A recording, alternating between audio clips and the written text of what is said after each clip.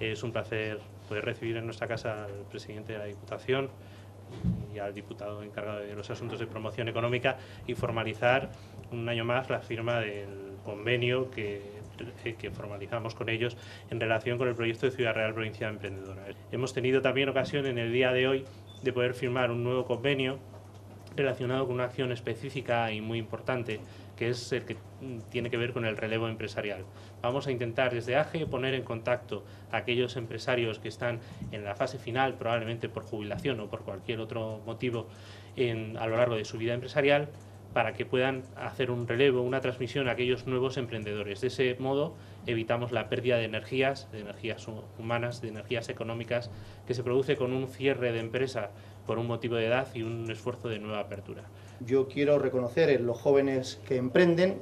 o, que directamente montan empresas, quiero reconocer a, héroes en momentos de dificultad como los actuales, que haya eh, gente que además de ser joven y bien preparada en la mayoría de los casos, pero sobre todo gente valiente que, tira para adelante y que no se queda en su casa sentada en el sillón viendo pasar el tiempo y lamentándose por la situación, sino que decide mm, enfrentarla y en la mayoría de los casos superarla con éxito. Y en gran medida eso es posible porque estáis la gente de AGE ayudando, colaborando, empujando, dándoles el aliento cuando, cuando recae mm, o decae la, la moral, en definitiva, porque estáis otros jóvenes que habéis pasado ya por la experiencia de iniciar una actividad empresarial, ayudando y siendo partícipes de los éxitos, sin duda, de estos que van tomando el relevo. En este sentido, desde la Diputación hacemos lo más fácil, siempre me gusta decirlo. Es verdad que hay que hacer un esfuerzo económico, que hay que administrar el presupuesto, que las demandas siempre son superiores a los recursos, pero es verdad que también desde la Diputación lo que hacemos es poner a vuestra disposición un dinero, un recurso, en este caso un convenio, que asumo que es útil y sin duda rentable y desde luego eficiente. Os agradecemos que nos permitáis colaborar con vosotros, que nos permitáis ayudar a la gente joven de la provincia que decide emprender a montar sus negocios y en este sentido lo único que podemos hacer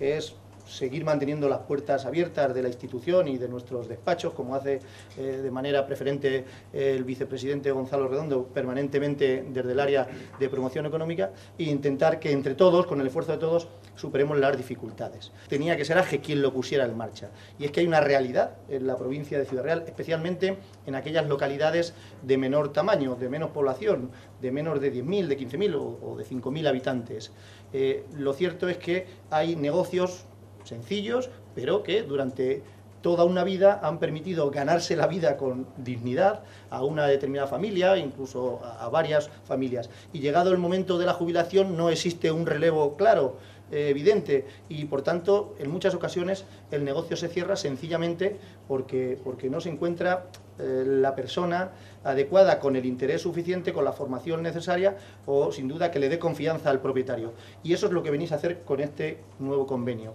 poner de acuerdo a quien tiene una actividad